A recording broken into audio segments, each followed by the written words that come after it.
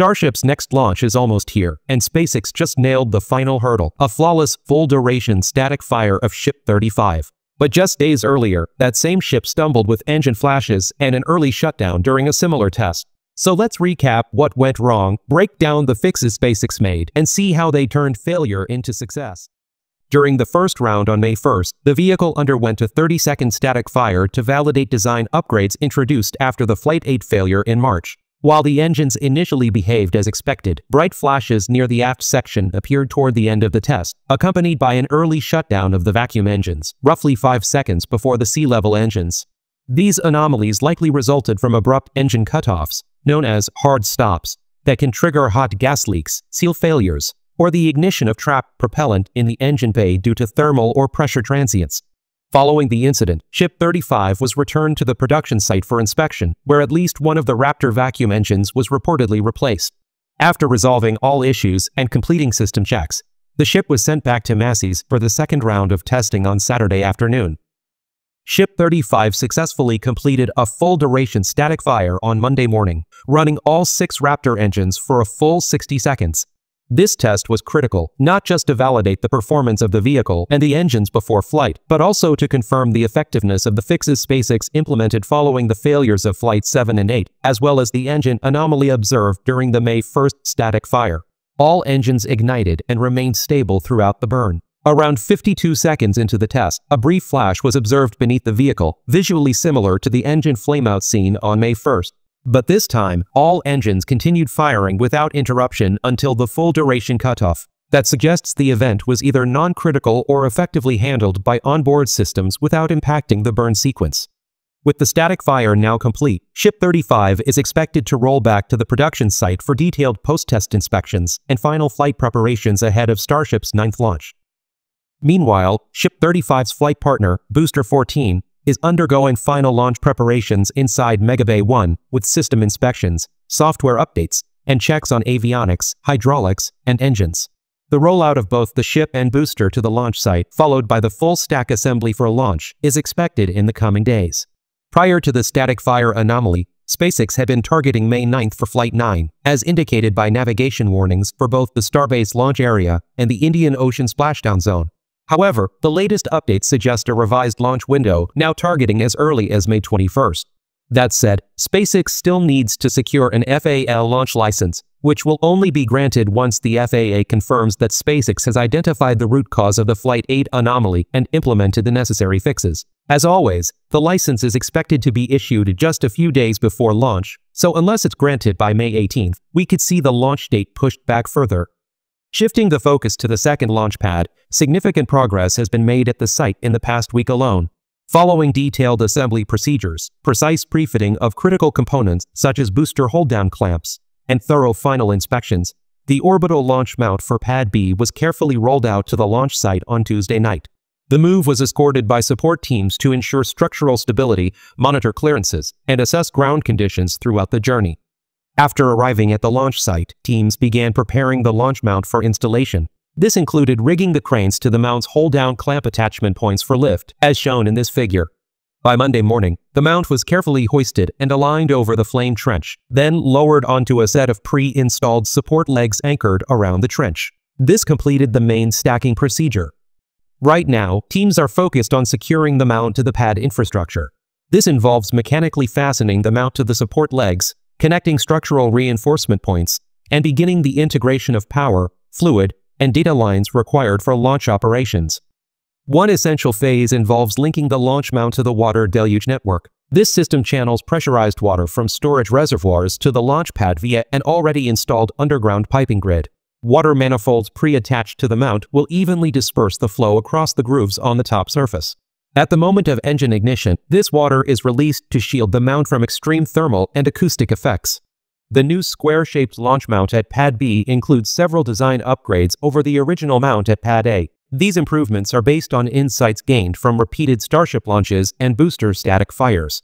By analyzing how the pad structure withstood mechanical loads, thermal stress, and vibration over time, SpaceX engineers have refined the Pad B mount for greater reliability, durability, and ease of maintenance. Let's take a closer look at these changes. A notable aspect of PAD B OLM is the potential for a removable or modular design, unlike the fixed structure at PAD A, though specific details are sparse. One strong clue is the visible bolt hole pattern on the mount's legs, hinting that the structure is meant to be detachable and interchangeable. This has major implications for turnaround time. At Pad A, post-launch recovery often means cutting and re-welding steel, fixing damaged plumbing, and running detailed inspections, work that can take weeks. In contrast, the bolted interface at Pad B allows the entire launch mount to be swapped out quickly, moving most of the repair work off-site and clearing the pad for the next mission without delay. This modular setup is key to SpaceX's high cadence goals. To achieve multiple launches per month and eventually multiple Starship flights per day, they need to separate ground servicing from pad operations. With removable mounts, they can roll in a fresh unit while the used mount goes to a refurbishment facility. That turns maintenance into a parallel process, not a bottleneck. This setup not only enables fast reuse, but also simplifies future upgrades, making it easier to upgrade the launch mount hardware and integrate design improvements without tearing apart the pad infrastructure. Of course, there are trade-offs. Bolted joints need precise torque control and are vulnerable to issues like preload loss, loosening from vibration, and fatigue around flange edges. Every joint becomes a potential failure point and demands regular checks. Still, the advantages, quick turnaround, off-site servicing, and modular upgrades will outweigh these risks. Both Pad A and Pad B launch mounts feature 20 hold-down clamps to secure the Super Heavy booster during static fire tests and launches. However, there's a noticeable design shift with the clamps on Pad B compared to those on Pad A. The Pad A clamps are bulkier, more complex, and have numerous moving parts. In contrast, Pad B's clamps are simpler and more streamlined.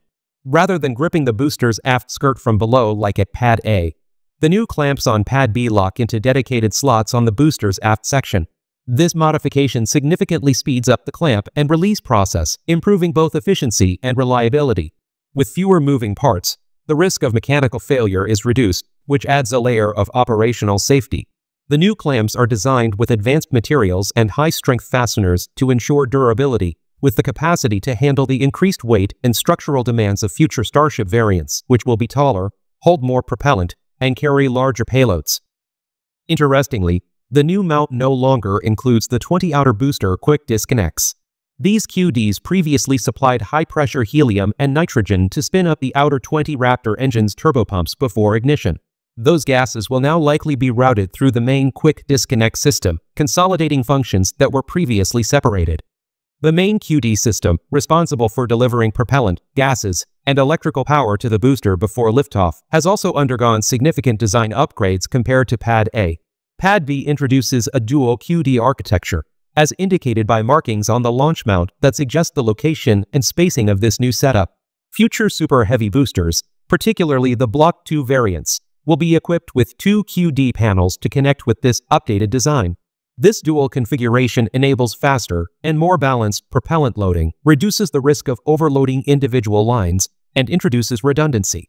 Near the launch mount, the booster QD gantry structure is actively being outfitted with vital hardware, including electrical and hydraulic systems, control valves, and fluid manifolds. These components will support the operation of the dual QD mechanisms once they're installed. Beneath the launch mount sits the flame diverter, which recently saw some work completed. The pipes that supply water to the diverter channels were connected to the top ridge of the flame bucket. Upon reaching the diverter, water enters internal manifolds within the ridge.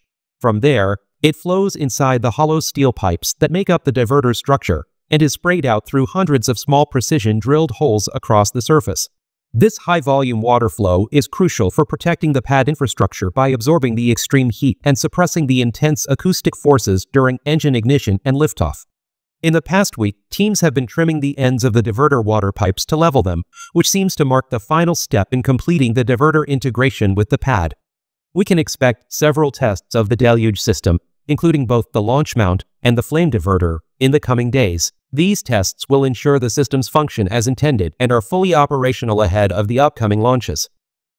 Interestingly, a few days ago, at the production site, a scrapped stainless steel ring section drew attention for its potential insights into Starship's orbital refueling architecture. This ring featured two ports flanking the quick disconnect panel, which are believed to serve as the propellant transfer interfaces during an orbit refueling operations. In the envisioned orbital refueling process, two ships will dock in low Earth orbit, one acting as the tanker, which is pre-filled with propellants delivered by several other ships launched earlier, and the other as the recipient. Once docked, propellants will be transferred through these refueling ports using a pressure differential between the two vehicles. The transferred propellant replenishes the recipient starship's tanks, enabling it to undertake missions to destinations like the Moon, Mars, or deeper into space. SpaceX plans to conduct a propellant transfer demonstration in late 2025, a critical milestone for the Artemis program and future interplanetary missions. The recently observed ring section might be a Pathfinder unit, constructed to test and refine the design in preparation for this demonstration mission. Meanwhile, work continues to clear space for the construction of the Gigabay. The demolition of the high bay is well underway, with the top half already removed, and work continues to dismantle the structure completely. Meanwhile, the wedge-shaped extension of the Star Factory was fully demolished on Saturday night, making room for upcoming developments. I've covered the Gigabay project in detail in a previous video. Be sure to check it out in the description for an in-depth breakdown. In a thrilling development, the FAA on May 6 approved a significant increase in the Starship launch rate from SpaceX's Starbase facility, following months of detailed environmental review. The new license permits up to 25 Starship launches and 50 combined booster and ship landings per year, a major leap from previous limits. Crucially, authorized landing zones now extend beyond Starbase, including the Gulf of Mexico, the Indian Ocean, the North Pacific near Hawaii, and the Southeast Pacific, enabling broader support for contingency and recovery operations. This decision follows a comprehensive, multi-month environmental assessment of Starship's expanded operations. The FAA analyzed a wide range of potential environmental impacts and evaluated the mitigation measures implemented by SpaceX to address those risks. The final outcome was a mitigated finding of no significant impact, an official determination that the increased launch and landing activity would not result in major environmental harm. Notably, the FAA's approval also includes launches from Pad B, indicating that the environmental review for this additional launch infrastructure is complete and meets regulatory standards. Now, let's discuss the latest updates from the world of science and technology. NASA is steadily progressing with preparations for the upcoming Artemis II mission to the Moon. Scheduled for February 2026, the mission will send four astronauts on a 10-day flyby around the Moon, marking the first crewed lunar mission since Apollo 17 in December 1972. Recent progress at NASA has bolstered confidence in the mission's timeline. In late April, technicians in the vehicle assembly building stacked the interim cryogenic propulsion stage atop the SLS core stage, marking a major milestone in the rocket's assembly process. Powered by a single RL-10 engine, this upper stage provides the critical translunar injection burn that sends the Orion spacecraft out of Earth orbit and onto its trajectory toward the Moon. Meanwhile, NASA carried out a key hardware replacement on the core stage. One of the four RS-25 engines, originally salvaged from the Space Shuttle era, was recently replaced due to a hydraulic leak in the oxidizer valve actuator. This actuator controls the flow of liquid oxygen into the engine's main combustion chamber, Swapping it out ensures better reliability and removes concerns about aging components inherited from earlier programs. Another key milestone came on May 1st when Lockheed Martin, the primary contractor for Orion, officially handed over the Artemis II spacecraft, fully assembled and thoroughly tested, to NASA. Orion was subsequently transferred to the Multi-Payload Processing Facility at Kennedy Space Center, where it is currently undergoing propellant loading and final system verifications. Once fueling is complete, the spacecraft will be integrated with its launch abort system and mated to the interim cryogenic propulsion stage, completing the full stack assembly. Following this, the SLS will enter its final pre-launch phase, including a rollout to Launch Pad 39B for a full wet dress rehearsal to validate the rocket systems and conduct the countdown rehearsal ahead of the historic crewed mission beyond low Earth orbit. Thank you for tuning in for the latest science news and Starship updates. If you enjoyed this video, please hit the like button, leave a comment, and share it with your friends. Also, don't forget to subscribe to the channel and turn on notifications so you never miss an episode.